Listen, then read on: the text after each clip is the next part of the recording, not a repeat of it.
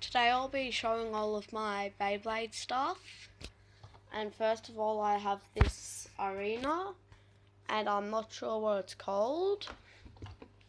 And if you guys want to scan the code, um, it's there. You probably can't see it properly. And um, then there's these are all of my Beyblades and I was just making a video and I realised that I was doing it wrong.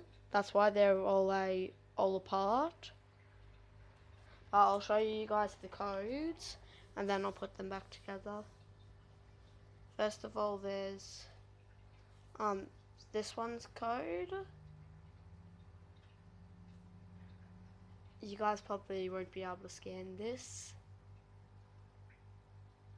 Then there's this one's code.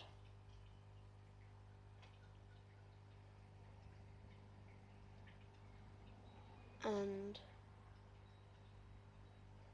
okay, I'll give you a faint thing of the code, but you probably won't be able to scan them.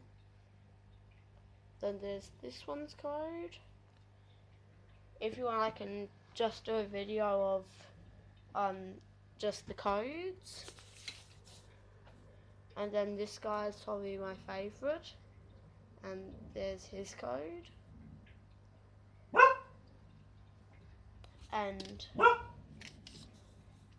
and there's the um, tips. And I'll show you which bit's gone, which one.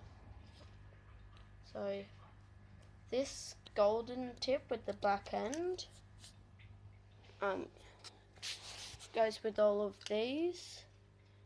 There's and the metal bits um, this which you can't really see and I'll just quickly put together.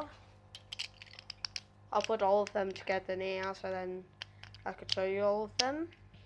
And from it can be a bit hard to put them together. And also to get the right things. But I recognize them pretty well. And I can tell like which ones go on which. And um I'm not sure what the tip's called but there's this blue tip. And when you um, launch it into the arena it'll just um keep spinning around and around, which I think is pretty bad. And um, I'm doing the last Beyblade now, which is Odax 02. And I also have the original Odax, but that's my friend's. And here are here they are. Um First of all, there's this one,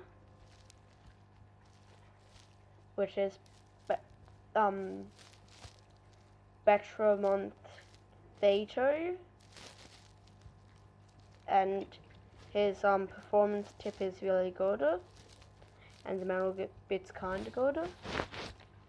Then there's um, Odax 02, and he, he has a pretty bad um, performance tip and a good battle like circle. Then there's this guy which I forgot his name but he's one of the best I'm pretty sure. And it's um something S2. And then there's um this original Odax, but it's my friend so I can't show the code. Without permission and that's pretty good. And I also have um, three launchers.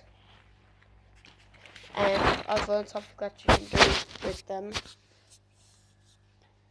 Um, you can put them together. Like I'll show you in a second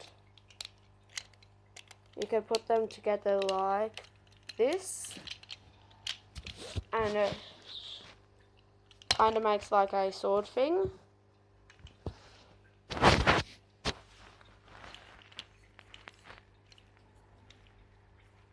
And yeah, I'll try to zoom out a bit more.